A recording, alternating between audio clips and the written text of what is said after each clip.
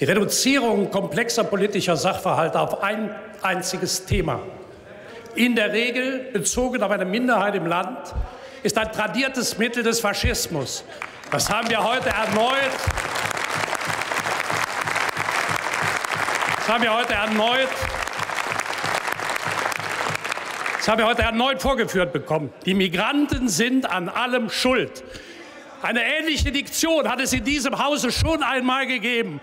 Und ich finde, es ist Zeit, dass die Demokraten in diesem Lande sich gegen diese Art der rhetorischen Aufrüstung, die am Ende zu einer Enthemmung führt, deren Resultat Gewalttaten auf den Straßen ist. Es ist Zeit, dass die Demokratie sich gegen diese Leute wehrt, Herr Präsident.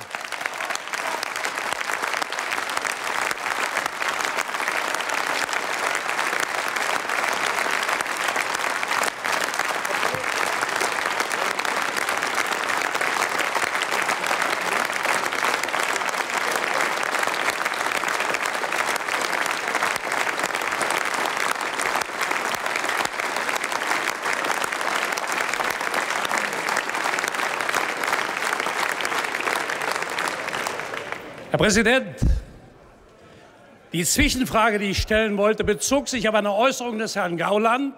Das Zeigen des Hitlergrußes sei unappetitlich. Das Zeigen des Hitlergrußes sei eine Straftat, die strafrechtlich verfolgt werden muss.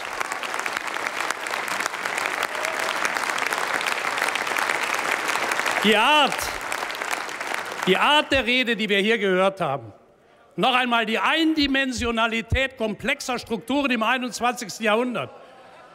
Die Reduzierung auf ein einziges Thema, das ist ein Stilmittel, das bekannt ist. Das wird kombiniert, Herr Präsident, bin sofort fertig. Es wird kombiniert mit Aussagen wie, das tausendjährige Reich sei ein Vogelschiss. Herr Gauland, die Menge von Vogelschiss ist ein Misthaufen und auf den gehören Sie in der deutschen Geschichte.